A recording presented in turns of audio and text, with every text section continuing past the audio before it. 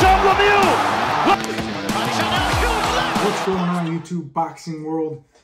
Listen, today is David Benavidez versus Caleb Plant. Both fighters look sharp at the weigh-in. Both fighters look ready. Both fighters hate each other. Both fighters cannot wait to get their hands on each other. That being said, I believe that Caleb Plant is still going to win. Um, David Benavidez has to let go of the emotions.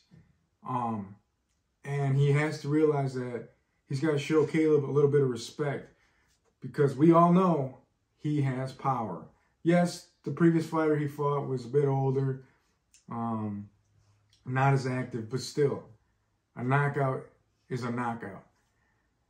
And um, David's got to be careful. He can't be too confident. He can't fight with too much emotions.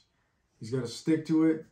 Um, he's got to stick to his game plan of coming forward, being careful with that left hand and uh, of Caleb Plants, and just dominating the fight, you know, like David is supposed to, like we all know. Don't try and switch it up. Don't try and box. Don't try and do nothing. Just keep the pressure. Don't switch up your game. That's when fighters lose. Um, Caleb Plant, on the other hand, he has to be himself, like like he said. He has to stick and move, box his way around. It doesn't matter how you want to fight, as long as you can win it beautifully, and as long as you get the W, right? But us as fans want to see a crazy fight, a brawl, two guys that hate each other. So Caleb Plant needs to stick and move like he does. Um, try and deal with the pressure a little better than he did against Canelo. Try and uh, uh, last longer, you know, his stamina against Canelo. That's probably why he, he got defeated there. And Canelo doesn't have a lot of stamina either. So, you know, hopefully Caleb Plant comes in good. You know, hopefully he trained that.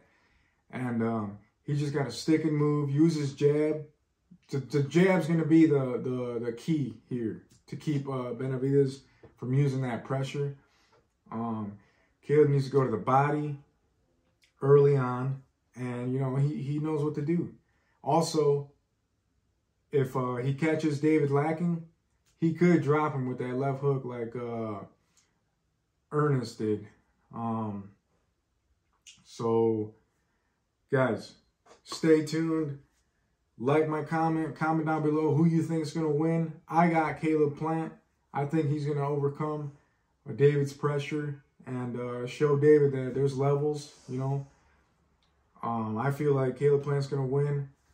But if either fighter wins, it doesn't matter.